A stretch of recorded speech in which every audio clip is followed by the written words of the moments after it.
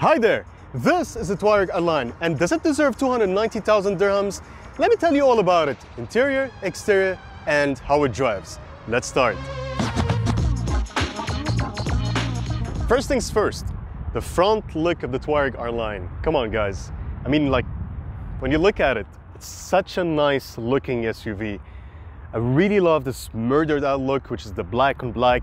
And because it is the R-Line package, so it does have a little bit of add-ons, which makes it a little bit more special than the normal Touareg. For example, you get this black line over here and the insert of black around the lights. And of course, the grille is on a black. And of course, you get this R-Line cool badge. I mean, whenever you get a Volkswagen model and there's this R-Line package, you know that there's a little bit of special things on it. And now coming to the side of the Touareg, as you can see, it just, it continues this black on black, sporty language, let's say. I really love the style. It's just, it kind of vibes, you know what I mean? Let's start with the sport Sportback roofline. I love how the spoiler ends over here. It, it, it, just it adds this nice contouring that makes the whole body looks very smooth and sporty at the same time and not, let's say, overdone. If you guys get what I mean. Wheels, 21 inch gloss black, comes with the package, the R-Line package. And for the doors, they're all keyless, but there is something that I was really impressed is it has the soft closing option. Look at this. So I'm gonna leave it a little bit. Push it. And it closes by itself. Such a nice thing. So the back of the Touareg R-Line continues the same black on black, sporty design. I love how it has this really wide and muscular stance. Gives it more of this sportiness language. I really like this. Really love how the spoiler is in black. The tail lights are all a little bit tinted and the bumper is in black. And one of the things that I really, I was really, really, really impressed with is the exhaust. They're not fake. They're actually real and functional and they're big and stainless. It's just, I really, really like it. For the boot, the tailgate is electric.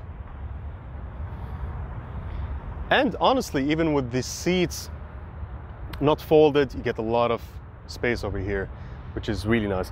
And you get a feature where you can actually lower the car by pressing a button over here because Touareg R-Line has air suspension. And to fold the seats, you can just pull these and they're gonna go by itself. And you get around 810 liters of space. The Touareg R-Line is a five-seater and the moment that you get into the interior, you just feel that the Volkswagen put a lot of effort into the design and somehow to make you feel that you're not in any Touareg, you are in the Touareg R line.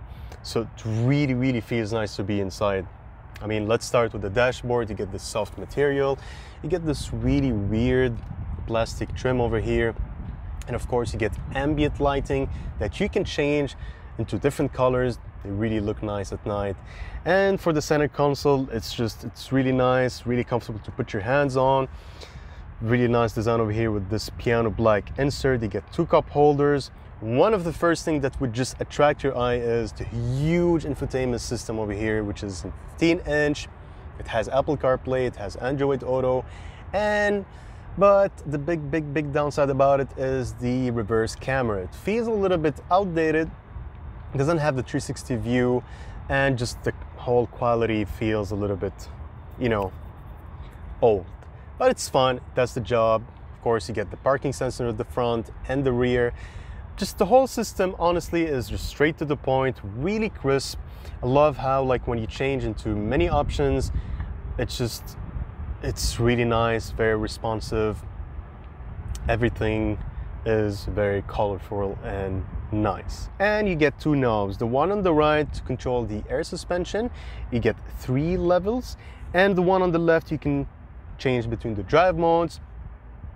You get the normal mode, the comfort mode, the eco mode, the sport mode, the individual mode, and the off-road and the snow mode. Yeah, you get plenty of drive modes, which is really nice and shows you how the Touareg is kind of capable to go on all type of terrains I mean, if you're going to take it to the desert, it can actually drive in the desert, but you're not gonna go dune bashing with it. I mean, yeah, it just feels bad to take these cars.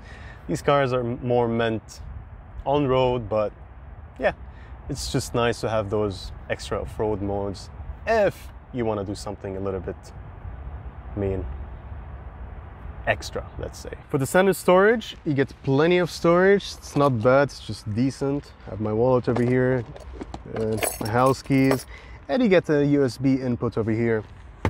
Now for the seats, they're all electric, leather. They all have the heating and ventilation options, which is nice. For the steering wheel, it's wrapped in leather. I really love the middle part of the steering wheel, just feels really nice to hold it. You get the flat bottom with the R logo, yeah, to make you feel a little bit special that you're not in any Touareg. Again, the Touareg R line. On the right, you can control the cluster screen, go through your options, you know, the regular standard options in any U gen car these days. Of course, the cluster screen is all digital, so that's a big plus. It looks really nice and crisp. On the left, you can control your adaptive cruise control, you can shift between your soundtracks, and you can control the volume. Although I do find it a little bit weird that the middle AC vents, they're placed over here, which is a little bit weird because I can barely get the air on me or on my face. So it's a little bit unpractical to put it here. I mean, I wish if they just put it on top of the infotainment system or somewhere in the middle, but that's fine, yeah. Just the whole thing looks really nice. And of course, you get the huge panoramic roof, which is one of my favorite things in any SUV. And now for the back seats. Honestly, it's just really big. Why there's a big why for it? Because the Touareg is a big SUV. And since this is a five-seater, so logically you're gonna get more space for the boot and the back seats. As you can see, I have a lot of knee room between my knees and the front seats. It's just, it feels really nice. I don't feel claustrophobic somehow. It's just a really nice place to be. And honestly, I could imagine this car to be driven by a driver and I could be a businessman. It really suits this vibe, let's say. Driving the Touareg is just one of those experiences that, you know, I've test drove a lot of SUVs before, and I can say that this Touareg is one of the best SUV I've ever driven in my life. It is just such a nice driving SUV. You do feel really, really, really comfortable driving it. It's just super smooth, super soft, and like whenever you need that power, it just it gives you that power. The air suspension does a really nice job at giving you that soft experience whenever you need it. You know, it's just very comfortable. And at the same time, if you put it on sport mode, it's gonna give you that really nice stiffness whenever you're going into a turn or a roundabout. For the noise insulation, again, really nice job. I was going around 120, 130 on the highway, and I can say that I was barely hearing anything except for the plastic bag that I forgot to put it the right way. It's, it's super annoying. Anyways, I'm driving, I can't just hold it. The car is a little bit heavy. It is around 2,300 kilograms. And yeah, so this number is, is, is not a small number. It is heavy. But you get the V6 turbo engine producing around 340 horsepower and 450 newton meter of torque, which is a really, really good number for such a heavy car. For the fuel, the tank capacity on this is around 75 liters. So if you live in Dubai and you're gonna refuel the full tank with special, it's gonna be around between 310 and 330 dirhams. Honestly, not bad for the current fuel prices. It is really not bad. And if I look at the screen, the fuel consumption right now, the average fuel consumption is around 13.2 liter for each 100 kilometers. Really not bad for such a heavy car, for a V6 turbo. Yeah, pretty much a really good number. My conclusion and verdict on this Touareg R-Line. Look, in my opinion, it is a little bit, a little bit expensive. 290,000 dirhams. I could get a lot of other SUVs with this price and almost the same features. But of course, it's never, never, never gonna be a German logo on it. So that's one of the plus sides of this Touareg.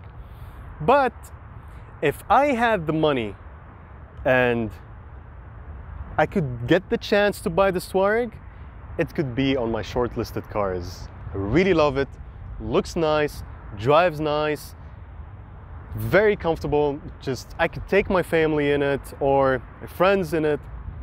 It's just a very nice looking car. Does the job really well, and Volkswagen did a really, really, really awesome job on this vehicle. So yeah, let me know your opinions, guys, down in the comments, and uh, hope you guys enjoyed this review, and see you on the next one.